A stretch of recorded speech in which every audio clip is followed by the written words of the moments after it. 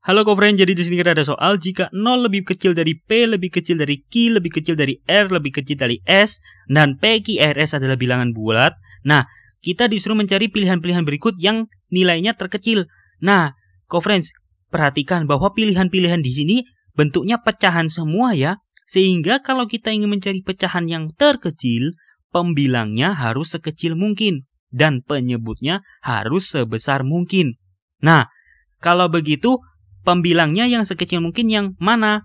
Kita ambil bilangan yang kecil antara P, Q, R, S yang paling kecil yang mana? Oh, P dan juga Q. Nah, itu kita buat sebagai pembilang. Untuk penyebutnya, kita ambil yang terbesar. R dan juga S. Nah, karena di sini operasinya ditambah semua ya.